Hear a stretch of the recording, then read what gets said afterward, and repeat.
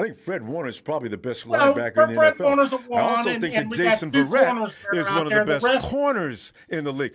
All I want is for let us stop tearing the man down by coming up with these bogus claims as to what happened. You How are weren't they there, bogus? Mike. You weren't there. It- You decided. you just told me so much that he's not playing against. you just said he's not playing any ones against defense, and I said, "Well, who's He's- Fred? he's only Fred playing Warner's few a one. Jason Verrett's a one. Yes. Okay, you just named two. Well, no, I'm just There's saying 12 that's who 12 picked him off. I understand that. The two guys picked him off, yes, because Jimmy Garoppolo is not capable in practice where he is hands off, can't be touched, can't throw the ball accurate enough to get uh, receptions. I think it's not about accuracy; it's about being stepped in front of and picked off. That's a little different. I mean, oh, so in other words, you're saying Jimmy Garoppolo can't see the field. No, no. Richie James was supposedly cutting across the field, from what I understand, on that play. And Fred Warner read Jimmy's eyes and cut across the field and took the ball. I, I know. And and the ball was three foot, four foot away from Richie, Richie James. Jr. and went So what- straight So why? to him. So why didn't Fred just stay where he was? He didn't need to race He, across. he field. was. If, if you heard what everybody said, Fred Warner was just standing there and he Well- threw the ball right to him. Oh wait a minute! Wait, wait. What was with the eye read and that type of thing? He just stood there and Jimmy threw the ball right to him. Come Yes, on, Mike. Come straight on, up. Mike. Come on, come on, come Watch the tape. on. Right. Type in YouTube. Jimmy G's interceptions. They'll come right, up. You can all right. watch it for yourself. Right, Mike, yes, ahead. Fred Warner just stood there and Yeah. Jimmy G threw the ball All right to him. and maybe he is likes Fred. clueless. Well, about the Jason Verrett pickoff? You got? I guess you he threw it right to him too. No, he actually threw the ball about five yards too short and he caught it. Hmm. All right.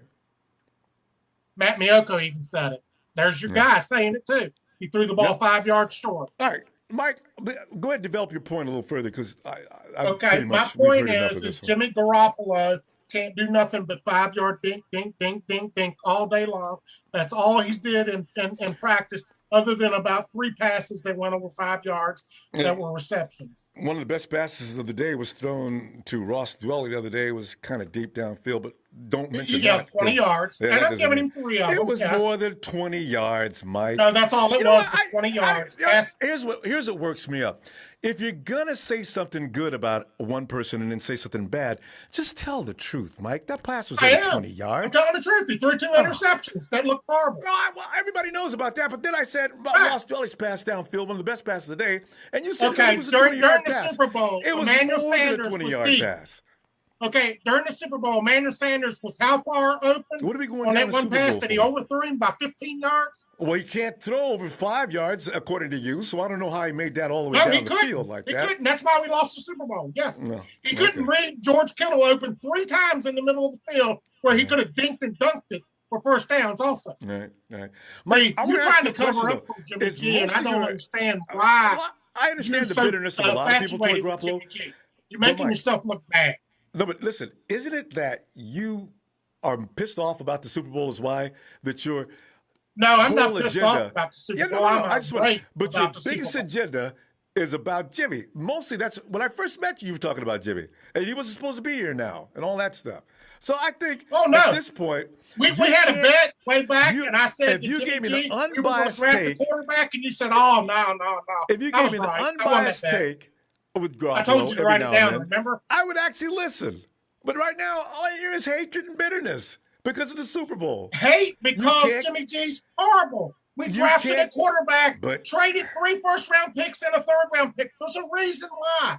He Yeah. didn't want him. We tried Yeah. to get Andy Dalton.